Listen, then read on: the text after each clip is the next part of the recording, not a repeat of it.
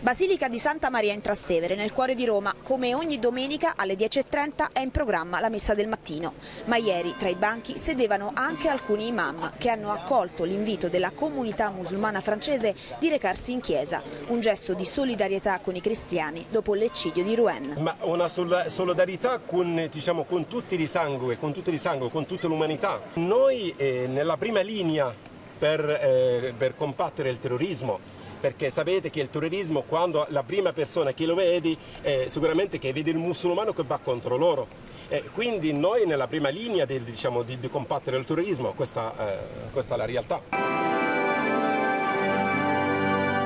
L'atmosfera è densa, il momento è importante, lo sanno bene anche le decine di fedeli che hanno partecipato all'iniziativa. Fratelli musulmani al fianco di quelli cristiani. Il miracolo dell'integrazione ieri a Roma sembra essersi compiuto. Nel momento delle letture il Vangelo secondo Matteo mette al centro versetti di umiltà e generosità, tutti attenti con il naso all'insù verso il pulpito dal quale parla il sacerdote.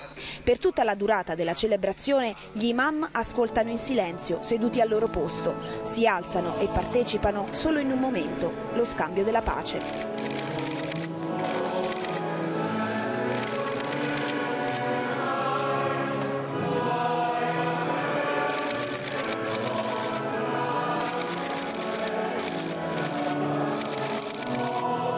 La messa finisce alle 11.45.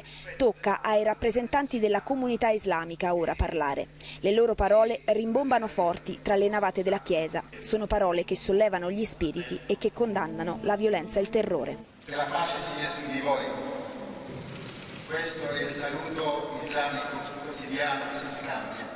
La pace è una cultura dell'Islam. Il nostro profeta